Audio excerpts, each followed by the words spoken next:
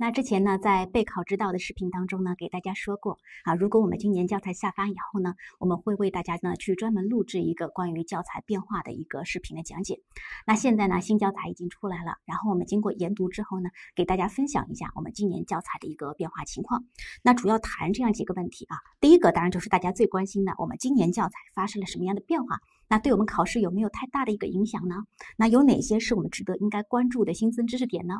那第二个呢，还是想提示一下大家，我们不但要关注今年新增的内容，那历年来一些传统的。高频考点也是我们需要进行关注的。那再给大家去分享一下，我们三十个章节当中有哪一些呢？是大家一定要掌握的高频考点。那第三个呢，就是我们之前建议说，大家已经开始要着手基础班的学习了。那有很多同学呢，已经先启动了学习，可能用的是二二年的一个课程。那接下来我们二三年的基础班出来之后，我们大家可以如何去呃，根据自己不同的情况去进行跟课，给大家做出一些跟课的一个建议啊。那首先我们来看第一部分内容，关于于教材的一个变化情况。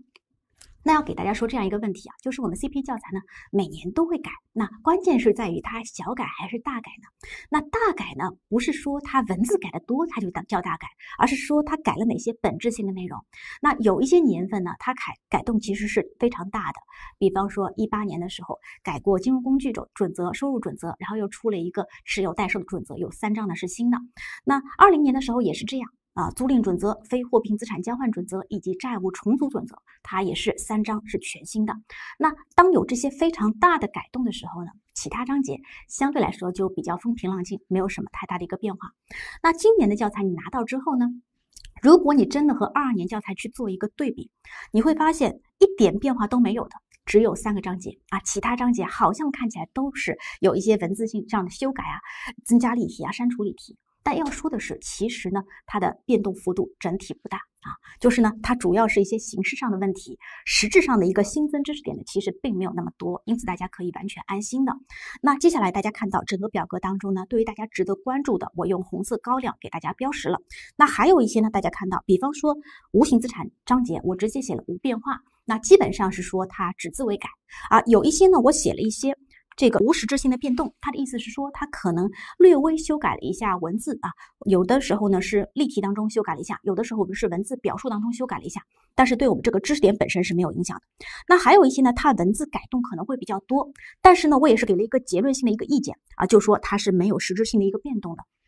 那么大家其实也可以放心，就是对我们考试其实没有太大的一个影响。那接下来我们就逐章来分享一下。那首先第一个就是总论。那总论呢，今年是发生了一个改动呢。那主要是两块地方。第一个呢是第一小节当中加了一个会计人员的职业道德，是纯理论的。那接下去还增加了一个新的小节，就是第六小节，关于可持续性信息披露，也就是有一个 ESG 的一个信息披露要求。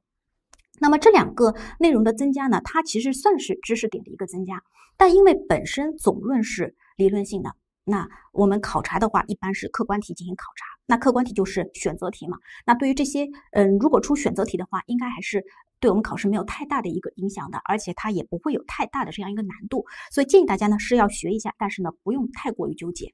那接下去是第二个章节，也就是存货。那存货大家看到我写了一个叫做修改若干处的表述，但是整体呢没有实质性的变动。比方说举个例子，它改了哪里呢？就是我们有一个计算存货的可变现净值。那可变现净值在计算的时候，我们要考虑用估计售价去减去。我们现在这个状态，一直到最终变现的时候，可能会发生的一系列的成本费用。那比方说要扣减一下加工成本，再扣减一些销售的费用。那他就具体说了一下，诶，这个销售费用应该是我们和销售直接相关的增量成本。然后呢，它里边还可以去包含一些，比方说销售部门发生的水电费啊、摊销费等等啊。所以他就补充说明了一下这个销售费用是什么。这就是我们这边说的所谓的修改若干处的表述是什么意思？就是他有的时候可能对这个文字上。进行一些增加，或者是进行一些删减，或者是进行一些调整，但是呢，整体对这个知识点没有影响。我们可变净值呢，还应该按照原来的方式进行计算，所以大家可以放心。那第三章固定资产呢，它也是没有实质性变动啊。虽然说加了一个例题三杠七，那例题三杠七讲什么问题呢？就是我们说固定资产啊，它要进行后续计量的，我们要对它进行折旧。那折旧的时候，有一些呢是需要进行估计的，比方说它的使用寿命。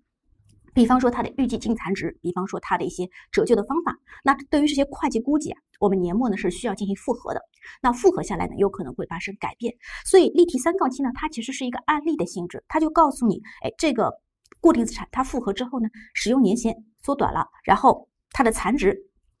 比重呢发生了一个改变，他就举了这样一个例子，甚至没有计算或者是账务处理的，因此对我们考试呢其实没有什么本质性的影响。那第四章无形资产呢是完全没有变动。第五章投资性房地产，它也是去修改了一下文字，然后呢删掉了一道例题，但道例题呢本身没有错误啊，这个知识点也是还在的。他就是觉得这个例题可能略微和之前一道例题有点重复啊，就是五杠一，它讲的是一个。成本模式下的一个后续支出，那五杠二呢讲的是公允价值模式下的一个后续支出，所以他觉得两道题去说同一个问题呢，可能稍微有点重复，因此删掉了一道。但是这个知识点本身大家应该也是需要进行掌握的，所以对我们考试、对我们学习都没有什么影响。那第六章长期股权投资呢，它也是若干处的一个文字进行了一些增加、修改或删除，但是呢，对我们考试没有实质性的一个影响。那第七章资产减值章节。大家看到它增加了一个例题，那增加的这个例题呢，它其实这个知识点一直是有的，而且以前年度呢也考察过。讲什么问题呢？就是我们资产减值当中，我们要去估一个可收回金额。那可收回金额当中呢，有一个数字啊，我们说是用未来现金流量现值。可公允价值减处置费用的金额孰高来确定这个可收回金额嘛？那因此我们要去估这个未来现金流量。那估未来现金流量的时候呢，我们可能是需要去考虑因素，然后有一些因素是不能考虑的。那比方说里边会有一个什么呢？会有一个可能会发生的一个重组。那我们说重组呢，我们是需要去关注一下，就是它到底是尚未承诺的重组啊，还是我已经非常确定。有这样一个重组事项，并且已经对外公告的，那我们最终在估计现金流量的时候呢是不一样的啊。如果这个重组我只是有这样一个重组计划，但是呢我可能没有对外进行公告，没有做出这样一个承诺，那我们在确定未来现金流量的时候呢，应该不去考虑我们重组对现金流量的影响。那如果这个重组计划是非常详细和正式的，并且已经对外公告了，那我们应该用。考虑了重组义务以后的现金流量呢，来确定这个未来现金流量的一个限制啊，所以他就具体举了一个例子，说明了我们重组两种情况对未来现金流量的一个影响。但本身这个知识点还是原来那个知识点，它只是增加了一道例题呢，去说明这个问题，因此给了一个结论，就是没有实质性的变化。那第八章负债，那负债当中呢，有一些的。这个关于税的一个问题呢，它是一些比较过时的表述啊，所以对于这个过时表述呢进行删除。那比方说还有应付账款当中，它提到了一个这个现金折扣的问题。那其实现在的现金折扣呢，应该按照我们收入准则的可变对价来进行处理。所以有一些表述呢，它过时了，它进行了这样一个删除。那还有一些例题呢，它本身有一些细微的瑕疵，它进行了一些完善。那除此以外，没有发生实质性变化。那接下去第九章职工薪酬。它也是没有发生什么实质性的变动啊，只是把我们例题呢更加完善一些，补充了一个条件，让我们例题更加严谨一些。然后呢，有些表述进行了一个简单修改，但是对知识点本身没有影响。那第十章股份支付，大家看到应该是需要进行重点关注的一个内容，但是这个变化呢是完全在我们预期当中的啊，也就是我们解释公告的第十六号。那大家看到，首先呢，它新增加了一个知识点，也就是我们有两种股份支付的一个分类，一个呢是以现金结算的，一个呢是以权益结算的。那这个时候呢，我们如果对这个条款进行修改，哎，使得它从以现金结算的股份支付修改为以权益结算的股份支付，我们应该如何进行会计处理？那接下来呢，财政部又出了一个股份支付，它的一个应用案例啊，就讲了一下我们这个发生了这样一个事项，应该如何进行账务处理。所以就纳入到我们教材当中来，变成例题十杠七。它其实是既有知识点的理论部分，也会有案例的部分。那我觉得呢是可以去进行考察的，而且是可以去考察主观题的。大家应该重点关注一下。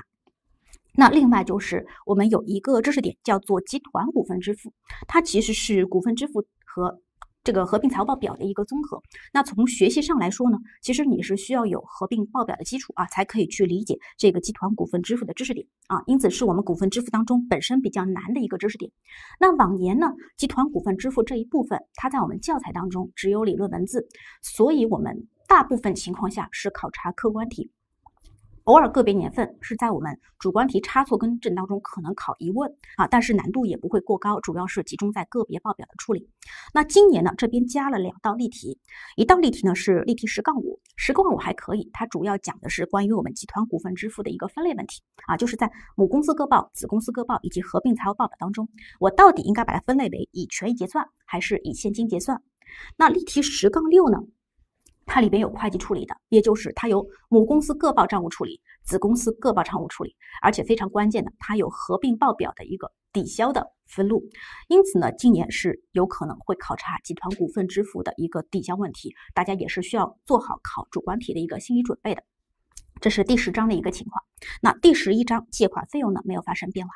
然后是第十二章或有事项。啊，好像呢，看上去删除了一个债务担保，但其实对我们学生呢没有什么太大的一个影响，因为债务担保本身就非常简单啊，在我们教材当中甚至没有什么给他理论文字的一个篇幅，就讲了一道例题。那为什么要删这个债务担保呢？它主要是和嗯之前的一个或有事项的具体应用，也就是味觉诉讼、味觉仲裁啊，实在是太相近了，因为一般。发生了债务担保啊，也就后续会产生这个诉讼和仲裁的这样一个问题，所以略微有点重复，因此呢就把这个债务担保的这一个。部分给它删除了，但是其实，在考试的时候没有什么太大的影响啊。如果他跟你说担保，然后后续产生诉讼问题，那你还是要会做的，也就是借记意外支出，贷记预计负债。那另外呢，增加了一个例题，例题十二杠七。那例题十二杠七呢，是针对于亏损合同的增加了一个例题，但是这个例题呢本身难度也不高，所以整体没有太大的一个影响。然后是第十三章金融工具。那首先大家看到金融工具这边呢，我写了一些增加啊，但是其实它没有新增。知识点，它只是增加了很多道例题。那其中例题十三杠三，它讲的是我们金融资产的一个分类问题啊，金融资产的一个分类问题。那我们知道，金融资产应该分成三类，而且呢是根据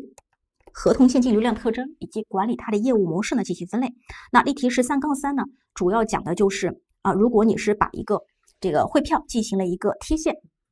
那我们应该如何去判断管理这样一个汇票的一个业务模式？那按照那道教材例题呢，它是既考虑收取合同现金流量，也考虑进行出售啊。它主要讲的是一个金融资产的分类。那接下去的例题十三杠七、十三杠十五和十三杠十六呢，它都讲的是金融负债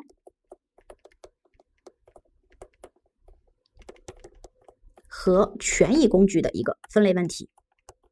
那金融负债和权益工具的一个分类原则，其实我们原来教材当中一直是有的。那现在只是增加了例题呢，去补充说明了一下，我们应该如何去应用这样一个分类原则。那其中例题十三杠十五和十三杠十六呢，它也是我们金融工具它的一个应用案例当中的一个内容，而且其实去年考试呢就已经考到过。并且两套卷子当中呢都有涉及，那一套卷子当中考的是一个客观题，一套卷子当中考的是一个计算分析题。那今年呢纳入到我们教材当中来了。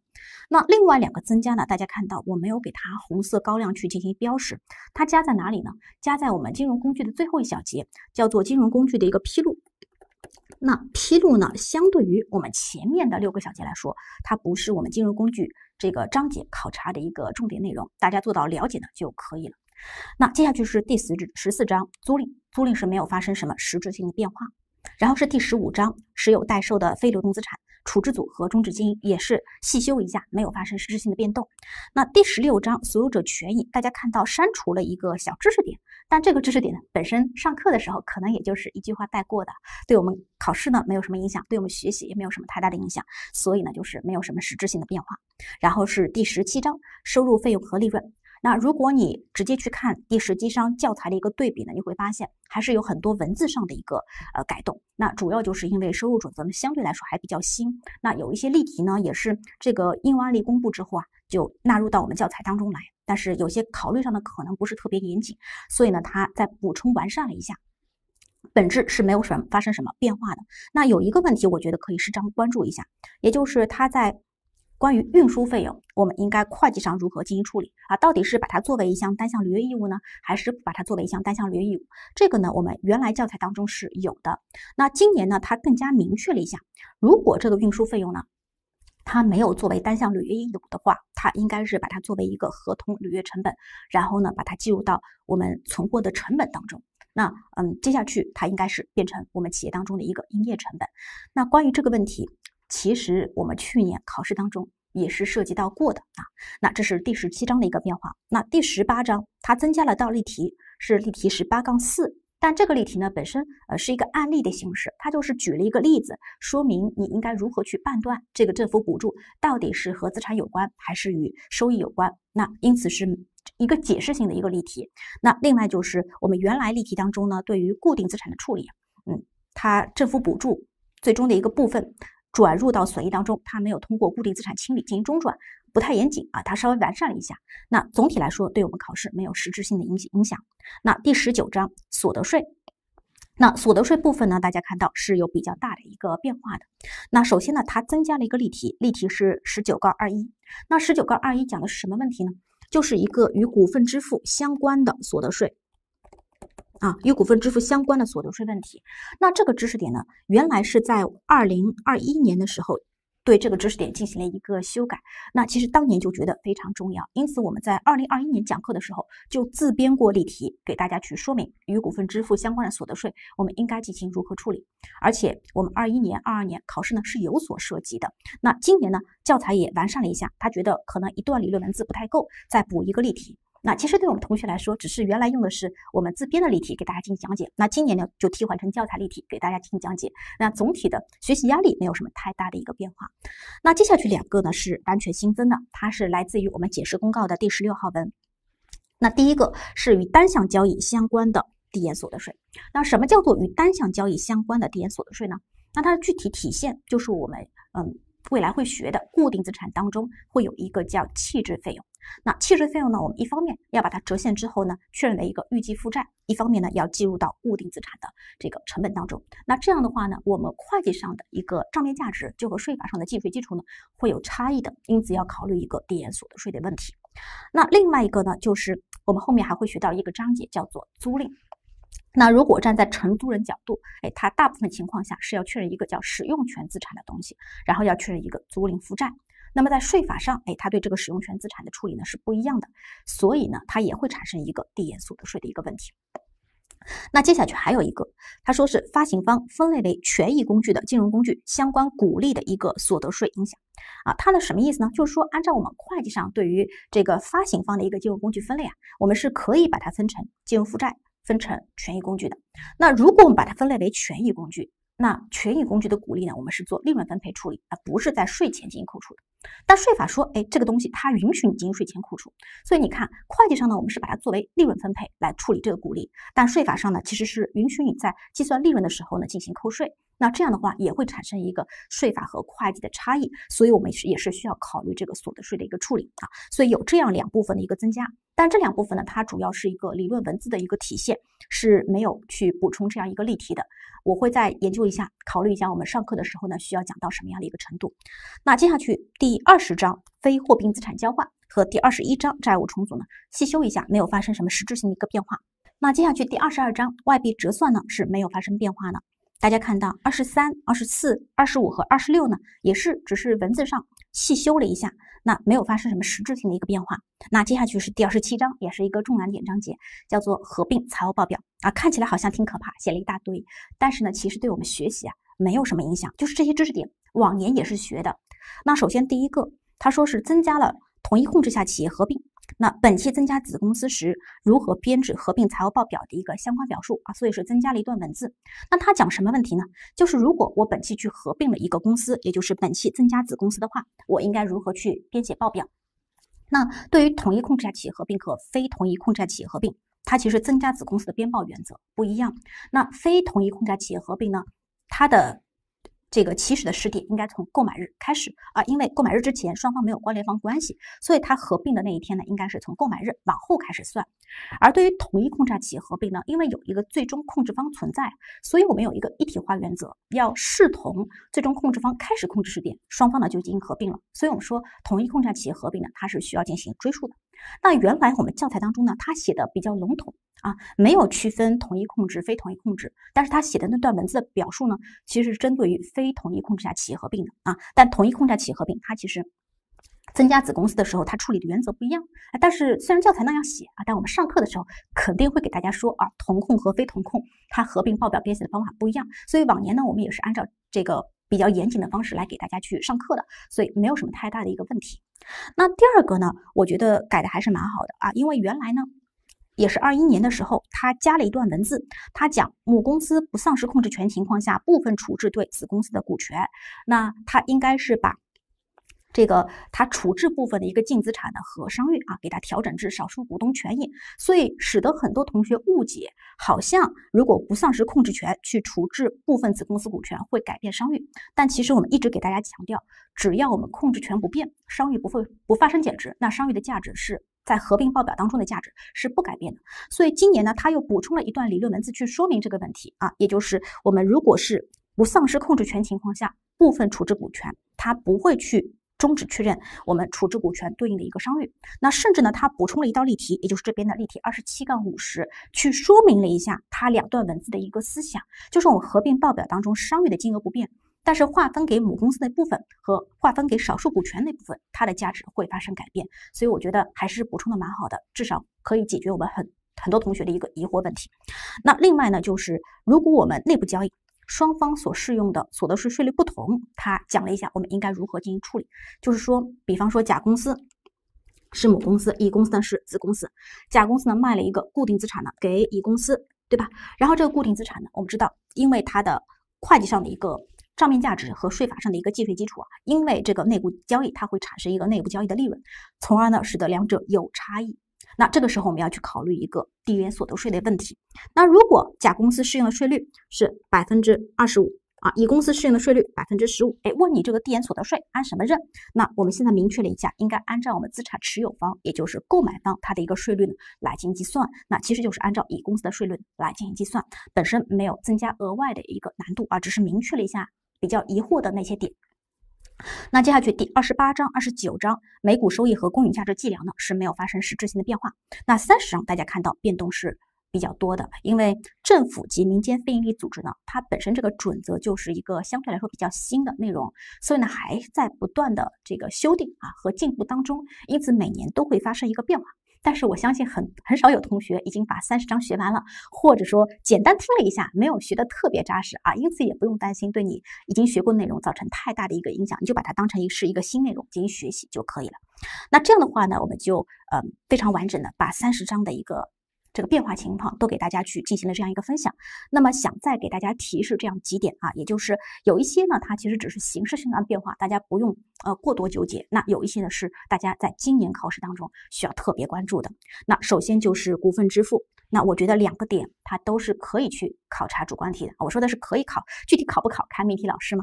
那第一个呢，就是前面所提到的，我们可以去修改我们股份支付的一个条款，从而呢使得让它从现金结算。变成权益结算的股份支付。那以往年度我们考察股份支付的主观题，考的都是以权益结算股份支付，到目前为止还没有考察过以现金结算的股份支付。哎，所以我觉得这个点它是可以考一考的啊。先考一下现金结算，让你做个一两年，对吧？然后呢，再让你转权益结算，那我觉得就考的比较完整了。那另外就是我们前面提到的一个集团股份支付。集团股份支付呢，因为教材当中原来只有理论文字，所以呢，在我们近些年的考试。基本上是出现在客观题当中的，然后呢，主观题的话，它是以拼盘题的方式，主要是出现在差错更正当中，然后主要偏重的是我们个别报表的一个处理。那合并报表当中的一个抵消，很早的时候，在一二年的时候考察过，但是呢，只是让你去说明一下，或者是计算一下金额，没有让你编写过分录。但前面提到了，哎，我们今年补了两道例题，一道例题呢，它还是分类的一个定性问题，但例题十杠六呢，它是一个。关于我们会计处理的问题，它完全有母公司各报、子公司各报以及合并报表当中的抵消分录，所以我完全觉得它是可以去考察主观题的。那大家需要重点把握一下。那接下去就是金融工具，金融工具部分呢，那主要是一个应用案例纳入到我们教材当中，但本身金融工具部分呢，就是我们考察的一个重点，大家是应该进行重点把握的。那接下去就是所得税。那所得税呢，也是我们考试当中非常爱考主观题的一个章节。那我觉得今年呢，也是大家要做好去考察所得税主观题的一个准备。而且你会发现，它新增的内容是特别特别容易去和我们一些其他的章节进行综合的。比方说，哎，它可以去考察一下股份支付，然后再顺带呃处理一下这个所得税的一个问题。比方说呢，它可以去考察一下和我们租赁有关的一个内容，然后呢再去顺带考察一下所得税的部分。比方说，它可以考察一下我们金融负债和权益工具的划分，然后把它划分为权益工具，又告诉你它税法上是允许你进行税前抵扣这样一个鼓励的。那问我们所得税上应该进行怎样的处理？所以你会发现它的一些新增知识点是特别容易和其他章节进行结合的，那你是需要进行重点把握、重点关注的。那除了我们。今年新教材新增的以外，那我觉得大家还可以去关注以下的一些内容。那首先就是收入章节，收入章节呢，去年是有一个比较大的一个改动啊。去年改动主要就改在收入当中了。大家知道增加了一个 PPP 项目啊，PPP 项目呢，它本身难度是比较大的。那我们教材当中总共是收录了三种模式啊，一个是无形资产模式，一个是金融资产模式，那还有一个是混合模式。那去年二二年的考试当中呢，它考了一个无形资产模式的，所以呢，它还有很多的余地可以进行考察。那我觉得大家今年也是需要去做好考主观题的这样一个准备的。那另外呢，就是收入准则，它有一个应用案例。但是是一个非常小的知识点，就问你这个标准化的一个软件产品应该在什么时间点去进行收入的一个确认，本身不太难的。我们上课的时候呢，会给大家进行覆盖的。那另外就是二一年长期股权投资当中呢，增加了一个小知识点啊，关于如果发生了一个被动稀释，那这个时候呢，我们是需要去视同处置这一部分股权，也要把内涵商誉进行一并的这样一个结转。那这个是我们关于新内容的一个分享。那接下来我们就来看第二部分，也就是有哪些呢？是我们比较传统的高频考点，大家呢在我们学习当中呢是一定要进行把握的。那我们来看一下这边的一个表格整理。那首先在讲这个表格之前呢，要给大家重申一下，不是说只有高频考点才会被考察。我们在备考指导当中反复给大家强调的，我们近年来的考试它就是要打破套路，就是要全面覆盖。啊，所以你一定要进行全面的学习。那我们提到的高频考点是底线，你知道吗？是你必须要会的。就是你连高频考点都不会，那考试的时候风险极大。但不是说只有高频考点会考，其他考点不会考。那其他考点在我们 CP 考试当中都有可能会出现啊，所以全面学习是必要的。那在此基础上呢，可以去重点关注以下内容。那首先。那么第一章总论，因为它是纯概念性的，所以基本上是考察客观题的。那重点把握一下会计信息的质量要求，是经常会考察客观题的。那接下去存货章节，传统来说它考客观题比较多。但去年呢，在主观题当中也有出现啊，所以呢，我这边只是一个大概率的一个情况啊。那对于存货来说，有两个知识点考评很高，就是第一个，有哪些呢是计入到存货成本当中呢？不计入到存货成成本当中呢，就是它的一个初始计量。那第二个就是它的一个期末计量，也就是期末发生减值的一个问题。那主要是要掌握可变现净值的一个计算问题。那接下去就是第三章的固定资产。那固定资产呢，它也是比较喜欢考察初始计量，就是哪些金额呢应该计入到固定资产的成本当中，哪些呢是不能够计入的。那另外就是固定资产呢，还有一种自行建造的方式，也是在初始计量当中呢比较爱考察的。那接下去是后续计量，是固定资产它比较有特色的一个部分。那分成两个，一个就是折旧，那主要是喜欢考察折旧的相关规定。那后续支出呢，它可以分成资本化和费用化，也会考察资本化和费用化它相关的一些会计处理。那主要是考察一些文字性的表述题。那如果结合初始计量的话，它会考察一些计算性的问题。那接下去第四章无形资产。那无形资产当中呢，有一个非常高频的考点，就是无形资产的内部研究开发。那本身这个知识点不难，但是它考评挺高的。那一个是考察客观题，那一个呢是在主观题当中呢也可能进行考察，因为呢它比较容易和所得税进行结合。那第五章投资性房地产，那最最高频的考点就是我们不同的房地产之间的进行转换啊，比方说存货、固定资产、无形资产，它可以转换为投资性房地产。那投资性房地产呢，还可以采用两种模式计量，一个是成本模式，一个是公允价值模式。当然，偏爱考察的是公允价值模式。那还有一个呢，可以从投资性房地产转为存货、固定资产和无形资产。那客观题呢有考察过，主观题呢也有考察过投资性房地产转换它本身的一个账务处理。然后呢，它还可以去结合所得税进行考察，因为在我们所得税的一个角度，房地产呢是要按照成本去进行折旧和。这个摊销的啊，它是不能用公允价值计量的，所以它会有一个税块差异的问题。那么近些年来，投资性房地产的转换呢，也非常喜欢和合并财务报表进行结合考察。那比方说，母公司把它的一个房地产出租给子公司啊，问你母公司各报、子公司各报合并报表应该怎么处理？那又有比方说母公司呢，它是把这个房地产呢出售给子公司。子公司再对外进行出租啊？问你母公司各报、子公司各报和合并报表应该怎样来进行处理？那这个呢是比较高频的考点。那第六章是非常重要的章节，长期股权投资。那有两个特别高频的考点，一个呢就是关于我们长期股权投资权益法的处理，那主要是对联企合营企业投资啊它的一个处理方法。那接下去还有一个。就是我们股权投资啊，它可能是长期股权投资，然后其中可能用权益法核算，也可能用成本法核算。那另外股权投资呢，它还有可能分类为金融资产的，以公允价值进行计量的，所以呢也会有一个股权投资核算方法的一个转换啊，公允价值计量转权益法，权益法转成本法啊，或者是我们。这个减持成本法转权益法，成本法转公允价值计量等等，那甚至还可以和我们合并报表的一些特殊交易进行综合。那这是第六章的一个情况。第七章这个资产减值问题。那资产减值呢？这个章节，嗯，其他的点不算是特别高频的考点，但是近些年来商誉减值呢考的比较多。那一九年的话，它是考客观题为主。那接下去两年呢，它是在主观题当中也考察过我们商誉减值的一个问题。那主要是因为它可以考合并报表嘛，考完合并报表让你计算完商誉啊，然后再结合一下商誉的减值。那第八章负债，这个呢是我们整个三十章当中不算特别重要的一个章节。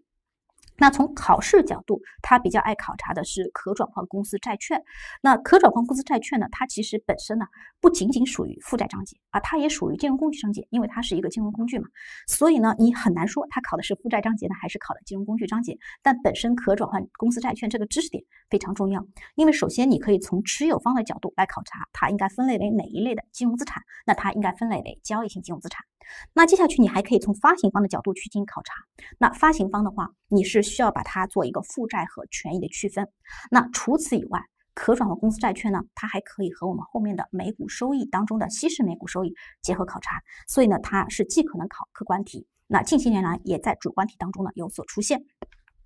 那接下去是第九章职工薪酬。那职工薪酬呢，它整体学习难度不高。然后呢，它会有不同类别的一些职工薪酬，比方说短期薪酬当中的带薪缺勤、利润分享计划和非货聘福利，考评非常高。那另外还有一个辞退福利，它是可以和这个或有事项当中的一个重组义务金结合考察的，考评也是比较高的。那其实也并不完全说一定会考客观题。那职工薪酬呢，在主观题当中，它经常也会考察一段资料，就可以挑选其中的这个一个职工薪酬来进行考察。啊，这是我们职工薪酬的一个情况。那第十章股份支付，大家也是需要做好考主观题的这样一个准备。那以权益结算股份支付是我们以往年度命制主观题非常高频的一个成分啊，包括普通的股票期权，也包括限制性股票都考察过。主观题，而且呢，它还是可以和每股收益当中的一个稀释每股收益进行结合考察的。那另外就是我们今年呢，对于集团股份支付啊，也要把握一下。那往年是考客观题比较多，但是我们今年提示过，它是有几率呢去考察这个主观题的，因为我们教材当中今年是补充了例题的。那第十一章借款费用。借款费用呢？近些年来考客观题呢稍微多一点点啊，基本上客观题里面都会有它的一个计算问题。那主要是借款费用的计量，那其中专门借款考评特别高。那接下去是第十二章或有事项。那或有事项呢考的比较多的是关于或有事项确认和计量的一个原则啊，主要是一些文字性概念题的考察。那第十三章金融工具，大家是需要做好去考察主观题的一个准备的。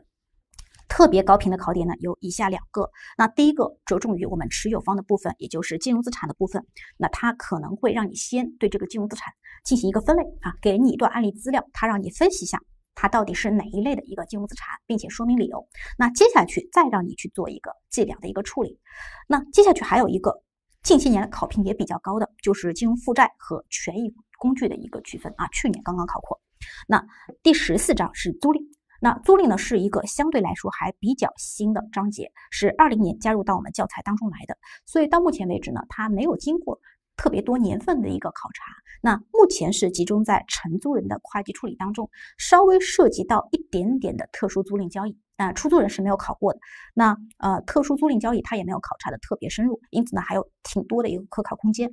那第十五章持有代收的非流动资产处置组合终止经营。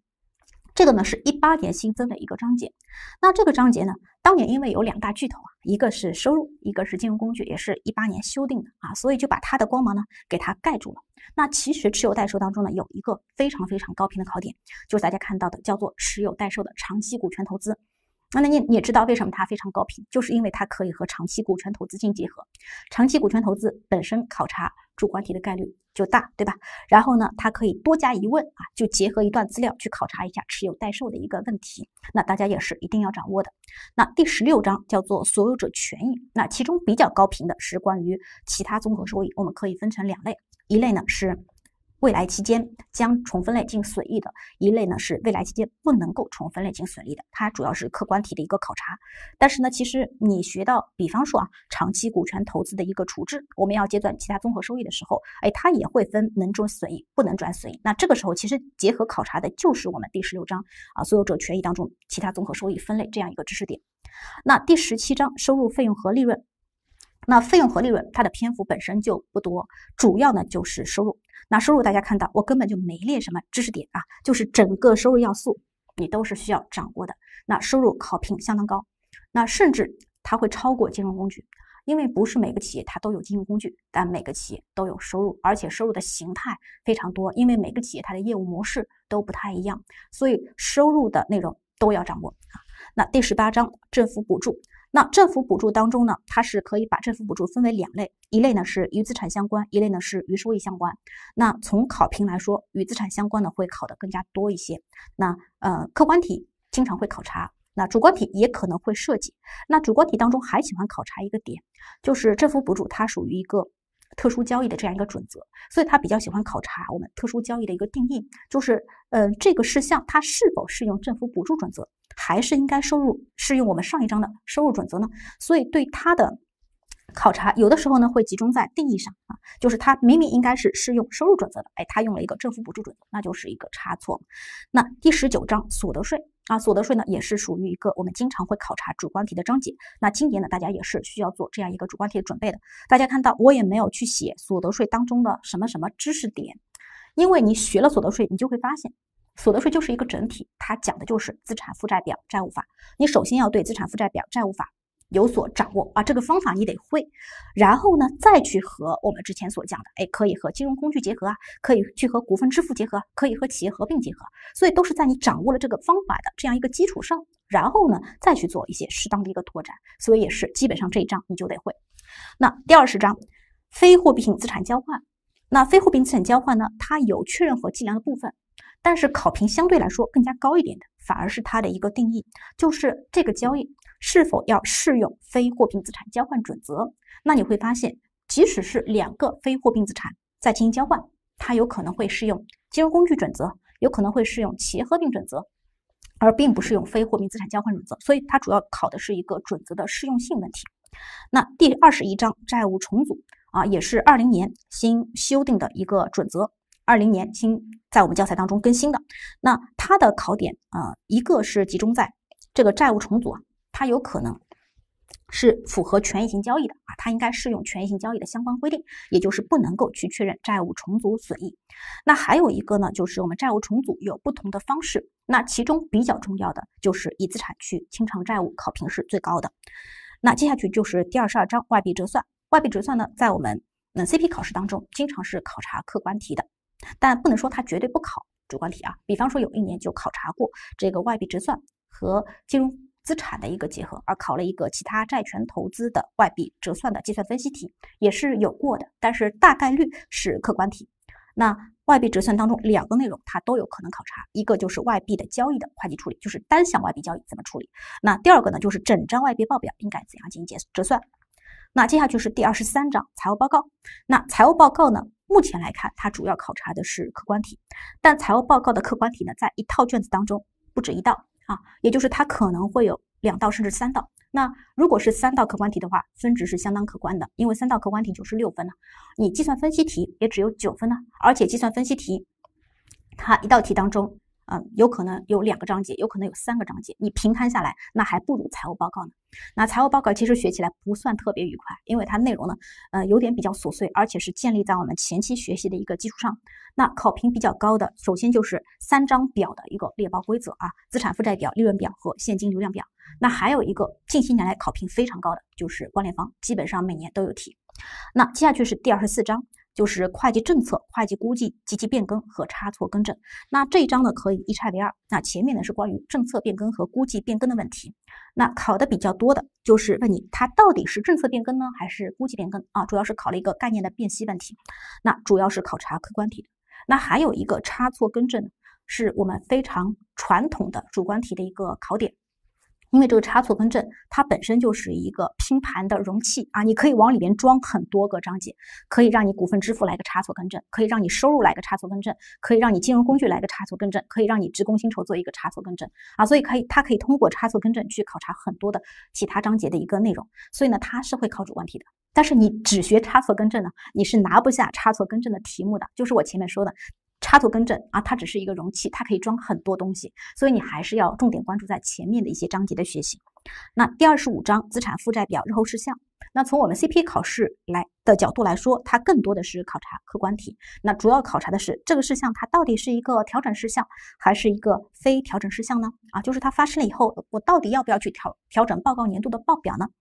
那接下去第二十六章和二十七章啊，虽然我们在教材当中它是分了两个章节。但是考试的时候呢，它其实不会单独去考察某一个章节啊，它就是合起来一起考的，所以我把它放在一起讲。那这个大家肯定是要做主观题的准备的。那首先考的比较多的是非同一控制下企业合并啊，这个大家一定得会。那接下来呢，就是比较爱考的内部交易的抵消啊，甚至比我们非同一控制下企业合并考的还多一点，因为内部交易抵消呢，它既可以结合同一控制，也可以结合非同一控制。那么它有比较传统的内部交易抵消，比方说内部商品交易、内部债权债务、内部固定资产、无形资产的抵消。那近些年来，它比较喜欢考察一下比较特殊的啊，比方说我们之前所讲到的，它考察过这个投资性房地产的内部交易的抵消，它还考察过借款费用的内部交易的抵消，也就是母公司问银行借了款，然后呢把这笔款项作为一种投资投入到子公司当中，子公司拿去造了一个固定资产，问你。母公司各报、子公司各报合并报表怎么处理啊？所以近些年来，他其实更加喜欢考的是比较灵活性的一些问题啊，还考过我们收入当中啊，比方说附有销售退回条款的销售发生在母子公司之间，应该如何进行抵消？所以这就要求大家不能够说只会背啊，我们内部交易它的一个套路。当然，传统的你肯定得会，但是呢，你最好是能够懂背后的一个道理。那在考场上呢，你才可以灵活的根据他给你的一个资料去做这样一个分析。那另外，在我们合并报表当中，有一部分难度非常高的就是它的一些特殊交易啊。特殊交易呢，其实就是结合我们在长期股权投资部分讲的一个转换啊。转换呢，比方说你涉及到合并报表了，有权益法转成本法。那它既可以考你这个母公司各报的处理，也可以考你合并报表当中的一个处理。那更加难的就是成本法转权益法，母公司各报处理合并报表当中怎么认这个投资收益，它都是可以进行考察的。那接下来就是第二十八章每股收益。每股收益呢，它主要是偏重于计算啊，因此呢，经常在我们客观题当中，特别是单选题当中进行考察。那大家需要掌握的是基本每股收益的计算和稀释每股收益的计算，都有概率去进行考察的。那接下去第二十九、第三十我就没有去列，那原因是第二十九章内容本来就不多，公允价值计量，那基本上课也就是一个多小时的内容，那呃，所以它也谈不上什么高频不高频的。那三十章。是政府及民间非营利组织会计，它呢内容非常多。那在我们学校里呢是可以开一门课去讲啊，就是我可以讲它一个学期的。那在考试的时候呢，其实你不知道它命题什么点。那如果是早些年份的话，它应该会命制它比较核心的问题。但因为这个内容其实加入到我们教材当中也好多年了，所以近些年来呢。就不好说啊，因此呢，它其实是属于性价比不是特别高的一个章节，也谈不上什么特别高频的一个问题。那这就是我们这个三十章大致的一个概况。那大家在学习的时候呢，可以先对我们整体的情况呢有一个基本的了解。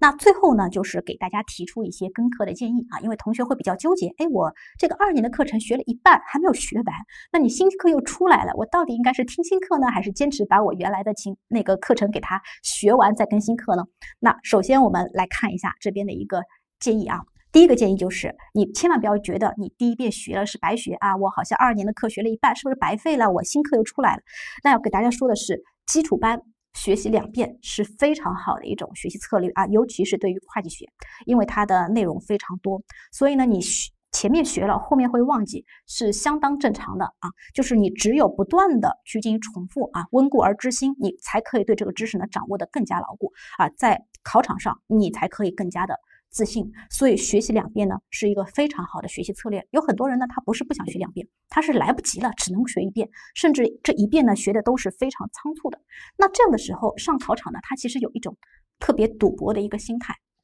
所以大家放心，你之前学的呢不会白费。那另外就是很多同学啊，经常会问老师，我去年呢就差了一口气，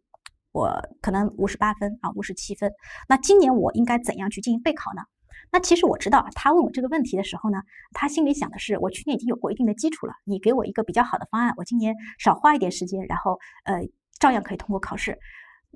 那其实我给出的一个方案呢，可能不是他最想听的，我也知道他不想听这个方案，但是呢，我还是要跟他说实话，也就是，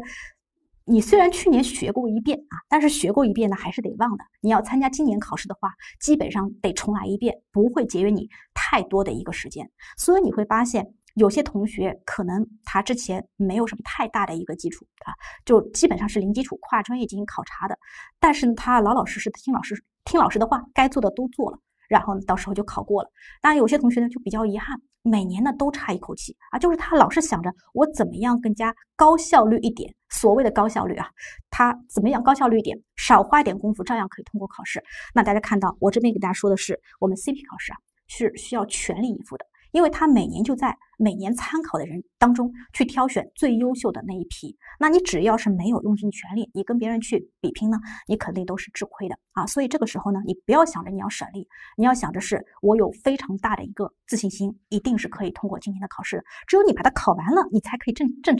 正。式的把这个会计科目给它甩掉啊，不然的话呢，你每年都是需要花差不多相当的时间去复习一遍的，是非常痛苦的啊。因此建议大家呢是一次性我们把功夫下到位，然后呢就去通过考试。那接下去来看一下我们这边的一个建议啊，先说最简单的，就是如果你已经二二年的进度非常可观了，已经进入到二十章以后了，那我会建议呢你。不用去纠结二三年新课，让它更新吧，它肯定会需要更新一段时间的，不是说教材出来，课程马上就要出来的，毕竟要进行这个录制，然后特别是要进行比较长的这样一个后期的剪辑啊、校对啊，所以上线呢会有一点时间。我建议你坚持学完二十七章，也就是前后面的二八、二九、三十啊，你可以不用管它，学完二十七章合并财务报表呢，其实你可以对我们整个 CPA 会计学有一个非常完整的认识了，因为二十章往后只有一个。重难点就是合并财务报表，有一些大家看到什么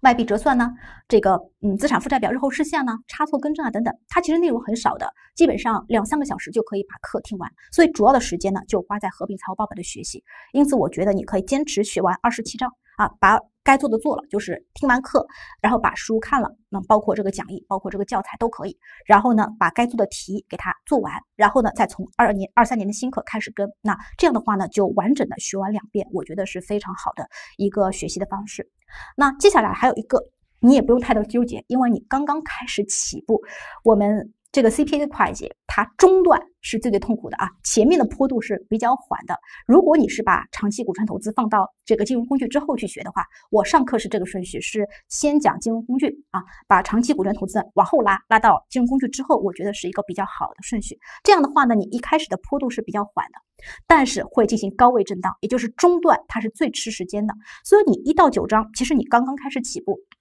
那你开始学的这个章节呢，你是需要。